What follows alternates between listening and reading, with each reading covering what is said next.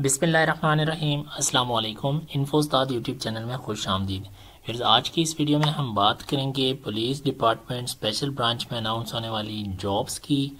आ, मेरे साथ रहिएगा चैनल पर नए हैं तो चैनल को सब्सक्राइब कर लें। बहुत बड़ी तादाद में अनाउंसमेंट की गई है नई सरकारी नौकरियों की जो कि पंजाब पुलिस में स्पेशल ब्रांच में अनाउंस की गई हैं।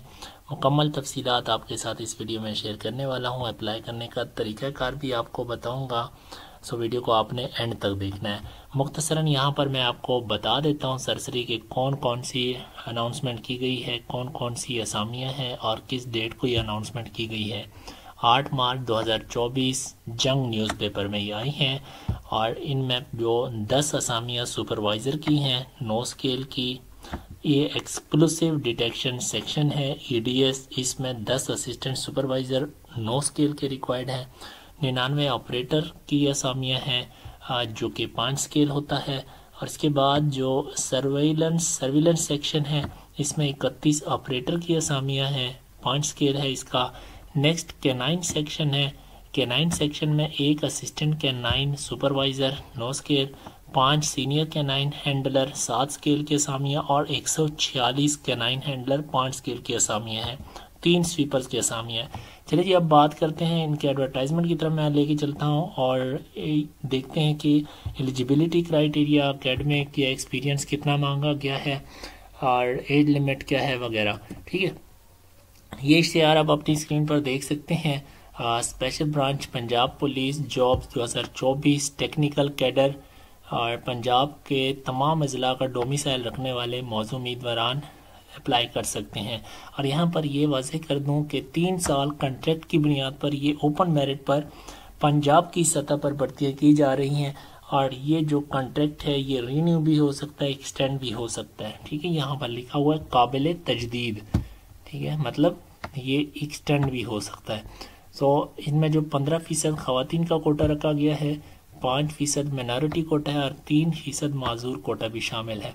तो चलिए अब बात करते हैं एक्सप्लोसिव डिटेक्शन सेक्शन में, जो पहली दस असामियाँ हैं असिस्टेंट सुपरवाइज़र की नो स्केल की, इनके लिए जो एज लिमिट है, वो 21 साल से 40 साल तक है और रिक्वायरमेंट एजुकेशन की एच एस एस सी है हायर सेकेंडरी स्कूल सर्टिफिकेट या अगर आपके पास डिप्लोमा है एसोसिएट इंजीनियरिंग का या इसके बराबर एजुकेशन क्वालिफिकेशन है। कम अज़ कम सेकंड डिवीज़न तक होनी चाहिए थर्ड डिवीज़न नहीं चलेगी। आ, ये अगर आपके पास है और एक और चीज़ भी इन्होंने यहाँ पर मांगी हुई है सर्टिफिकेशन भी आपके पास होनी चाहिए बम डिस्पोजल कोर्स की। बम डिस्पोजल कोर्स अगर आपने किया हुआ है तो आप और सेकेंड ईयर भी आपने की हुई है F F S C I C S associate engineering का डिप्लोमा वगैरह तो आप अप्लाई कर सकते हैं। और इसके साथ साथ अगर आपका दो साल का तजर्बा भी है इस फ़ील्ड में तो आप अप्लाई करने के हकदार हैं। इसके अलावा सेकंड जो रिटायर्ड जूनियर कमीशन ऑफिसर यानी जे आर्मी से रिटायर्ड जे या एन यानी हवालदार नाइक वगैरह, ठीक है, सिपाही वगैरह, ये भी अप्लाई कर सकते हैं। अगर उनके पास बम डिस्पोजल कोर्स का सर्टिफिकेट और एक्सपीरियंस है तो। चलिए जी ऑपरेटर एक्सप्लोसिव डिटेक्शन की तरफ़ चलते हैं। ऑपरेटर की असामियाँ निन्यानवे हैं बड़ी तादाद में पाँच स्केल है अठारह से चालीस साल एज लिमिट इसके लिए मैट्रिक रिक्वायर्ड है। मैट्रिक आ, या इसके बराबर अगर आपके पास डिग्री है इक्वलेंट सर्टिफिकेट की दरस निज़ामी से आपने कोई सर्टिफिकेट किया है डिप्लोमा किया है और इसके साथ साथ छः महीने का टेक्निकल कोर्स का सर्टिफिकेट भी मांगा गया है जो कि electrical electronics mechanical chemical civil information technology या रेडियो टीवी मैकेनिक का कोर्स हो ठीक है छः महीने का तो आप अप्लाई कर सकते हैं।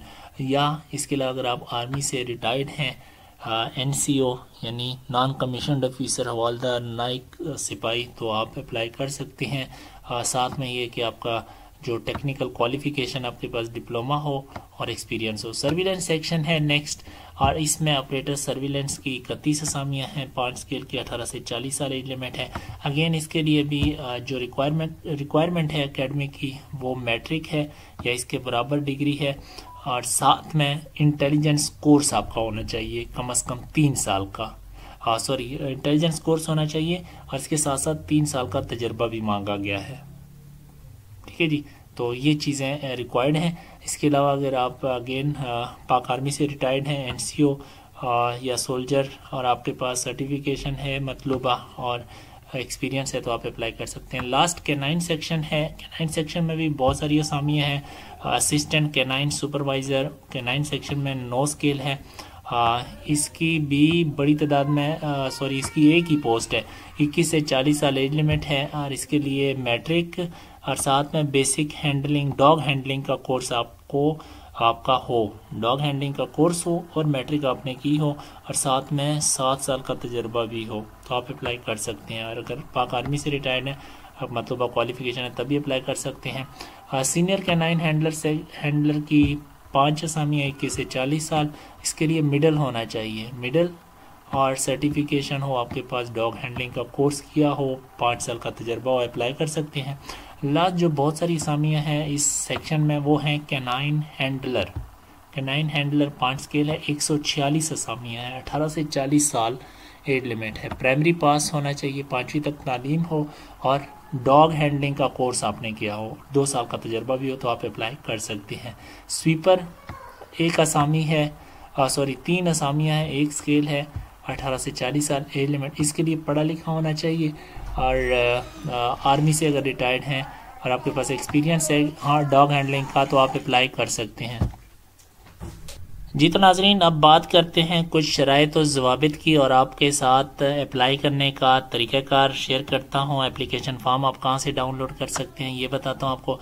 ये आप स्क्रीन पर देख भी सकते हैं, ये इनकी वेबसाइट का एड्रेस है, Punjab police dot G O V dot P K इस वेबसाइट पर आपने जाना है, यहाँ से आपको एप्लीकेशन फॉर्म मिल जाएँगे, उनको डाउनलोड कर लेना है, ठीक है? लिंक आपको इस वीडियो के डिस्क्रिप्शन में मिल जाएगा।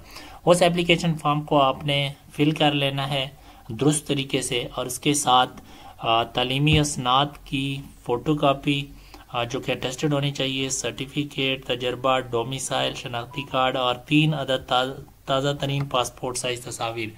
ये तमाम डॉक्यूमेंट्स आपने अटेस्ट करके इनकी फ़ोटो कापी इस एप्लीकेशन फॉर्म के साथ अटैच कर लेनी है और पाँच सौ रुपये फॉर्म की जो फ़ीस है, वो आपने क्या करनी है? मुतलका जो रीजनल ऑफ़िस स्पेशल ब्रांच का है, जो आपके डिस्ट्रिक्ट में करीब, यानी आपको जो पड़ता है, जिसकी हदूद में आप आते हैं तो वहाँ पर जाकर आपने पाँच, यानी उन्नीस तारीख तक आपने जमा करने हैं। उन्नीस तारीख, उन्नीस मार्च 2024 आखिरी तारीख है अप्लाई करने की। और जो रीजनल ऑफ़िस हैं, वो यहाँ पर आप देख सकते हैं। फॉर एग्जांपल, ये रावलपिंडी रीजन, एयरपोर्ट रोड पर है। S S P special branch, इसी तरीके से सरगोदा रीजन की अगर बात करें तो S S P special branch, Sargodha region, Najd Azadi Chowk मेला मंडी रोड, सरगोदा, ये फ़ोन नंबर भी लिखा हुआ है। तो आपने अपने हिसाब से देख लेना है कौन सा रीजनल ऑफ़िस आपके करीब है। आपके डिस्ट्रिक्ट से कंसर्न है तो वहाँ पर आपने ये जाके खुद जमा करवा देने हैं। ठीक है जी? और इसके अलावा अगर आप कोटा पे आप अप्लाई करना चाहते हैं, जो कि आप क्लेम करें शहीद माजूर रिटायर्ड या हाजिर सर्विस अगर आप कोटा पे अप्लाई करके इजाफी नंबर हासिल करना चाहते हैं, जैसे शहीद का कोटा माजूर रिटायर्ड अफराद का या हाजिर सर्विस का कोटा तो आपको जो कागजात हैं जैसा कि पेंशन बुक रिटायरमेंट आर्डर की कॉपी और मुतल जो भी डॉक्यूमेंट्स हैं वो भी प्रोवाइड करने होंगे। अपनी इन डॉक्यूमेंट्स के साथ उनकी फ़ोटो कापी अटैच करके जमा करवानी होगी। ठीक है जी जितनी उम्मीदवारों की लिस्टें होंगी उनके नाम होंगे जो आ, सही उम्मीदवार होंगे जिनकी दरखास्तों में कोई मसला नहीं होगा वो इनकी वेबसाइट पर उनके नाम आवेजा कर दिए जाएँगे और स्पेशल ब्रांच का जो ऑफ़िस है जहाँ पे आप जमा करवाएँगे अपने डॉक्यूमेंट्स वहाँ से भी आपको इन नामों के बारे में इंफॉर्मेशन मिल जाएगी। और अगर आपको कोई इतराज़ हो तो मतलूबा दिनों के अंदर जो भी इन्होंने मुतन करेंगे उनमें, इस ये जो कमेटी है, रिव्यू कमेटी, इनको अपने प्रॉब्लम बता देने हैं और एतराज़ा दूर करके सब चीज़ें क्लियर कर लेनी है। ठीक है जी? और इसके अलावा जो शॉर्ट लिस्टेड कैंडिडेट होंगे, जो सही उम्मीदवार होंगे, उनका तहरीरी इम्तिहान होगा। Police school of information and analyze Chung Lahore में। तारीख के बारे में, और टाइम के बारे में आपको आपके मोबाइल पर बता दिया जाएगा और वेबसाइट पर भी बता दिया जाएगा। ये इनकी पेपर कंपोजिशन है, ठीक है? इस पर मैं अलहदा से वीडियो बना दूँगा कि टेस्ट में क्या क्या चीज़ें आएँगी इसको फ़िलहाल छोड़ते हैं।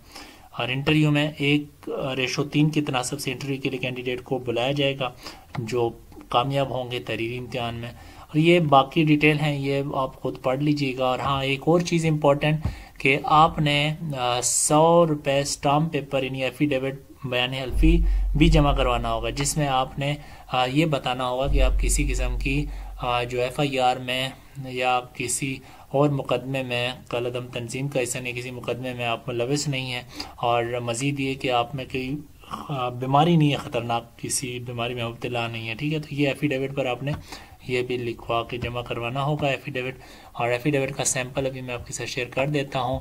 अब चलते हैं जी एप्लीकेशन फॉर्म की तरफ़। ये पंजाब पुलिस की ऑफिशियल वेबसाइट पर मैं आ चुका हूँ। यहाँ पर आप आएँगे तो यहाँ पर ये आपको एडवर्टीजमेंट भी मिल जाएगी एप्लीकेशन फॉर्म भी इंस्ट्रक्शंस भी, और जो एफिडेविट का सैंपल है वो भी आपको मिल जाएगा।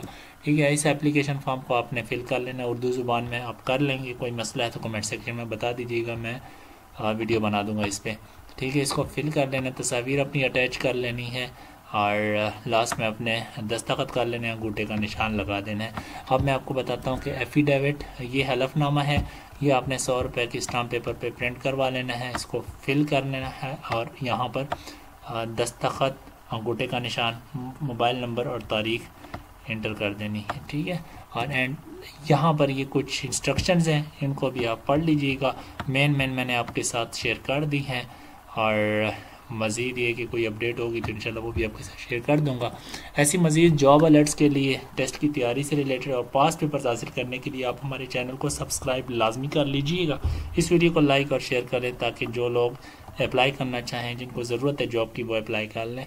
मिलता हूँ आपसे नेक्स्ट वीडियो में, अपना ख्याल रखिएगा। अल्लाह हाफिज़।